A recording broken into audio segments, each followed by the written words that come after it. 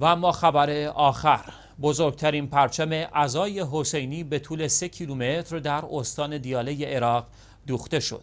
بیش از دو هزار تن از زائران اربعین حسینی و از ادیان مختلف این پرچم را در زیارت اربعین حسینی حمل خواهند کرد.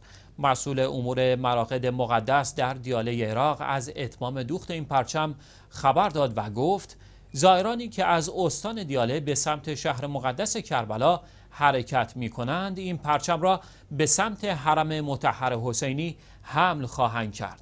حسین الباوی افزود با همکاری ها و رایزنی های صورت گرفته با ادارات و سازمان ها و با مشارکت نخبگان این استان دوخت و آماده سازی این پرچم به اتمام رسیده است. الباوی خاطر نشان کرد حمل این پرچم توسط پیروان ادیان و مذاهب مختلف در زیارت اربعین حسینی باعث اتحاد و همدلی مردم می شود و نماد ایستادگی در برابر ظلم و ستم خواهد بود.